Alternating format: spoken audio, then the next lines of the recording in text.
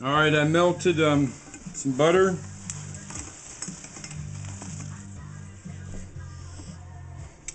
And uh,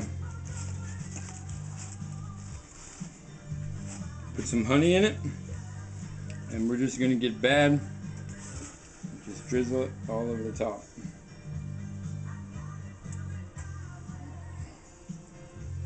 And they're incredibly thin and flaky and um, just wonderful.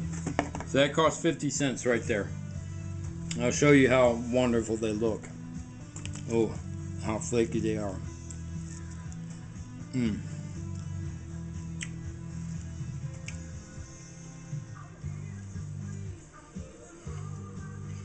Sopapillas, is that awesome or what?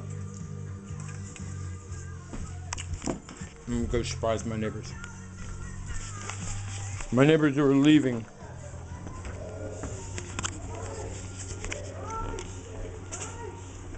Dun, dun, dun.